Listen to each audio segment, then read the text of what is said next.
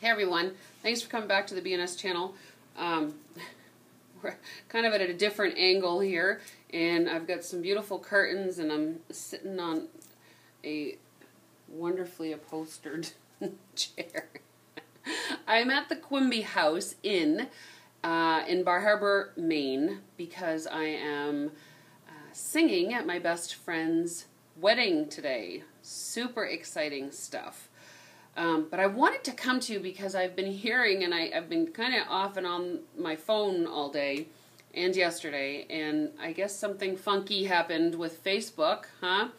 Um, it seems as though Facebook uh, targeted direct sales today and shut everybody's access off to sharing links and having parties and whatever. So, this just goes to prove, and, and I'll tell you what my theory is that potentially happened. I don't know for a fact that it is. Um, but when you do programming with, um, you know, something like Facebook, if they're in the back, um, the back office, let's say, of their software, they have to start plugging in words and company names and phrases and that sort of thing in order to program the software to know what to look for. Very potentially, they could be working on what I've spoken about in previous face or previous YouTube videos, and if you haven't watched, I'll just explain real quick. Um, but they could be preparing for that in their programming. And so, what might have happened is they um, put it out there. It brought everybody's stuff down and made it impossible to share um, website links. And because I guess Scentsy was not the only direct sales company, there was a lot of direct sales companies that were affected by this short window of time that you were not able to post um, about your company. So it could be within the programming. Um, it did come back up. So I'm going to preface this again.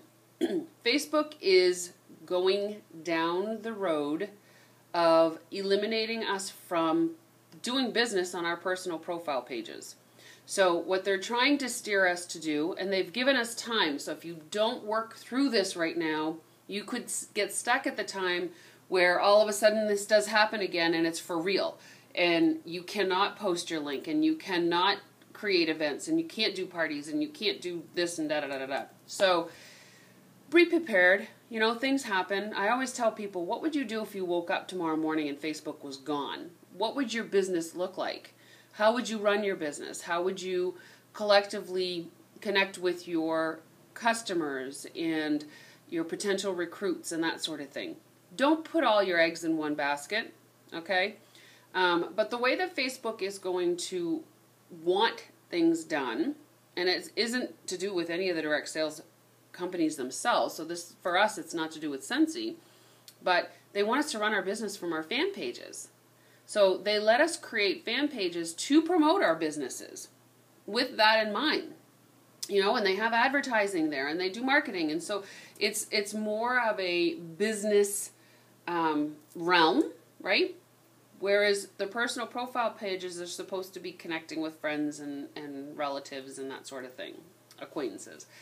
So do yourself a favor. Start merging your information over to a fan page.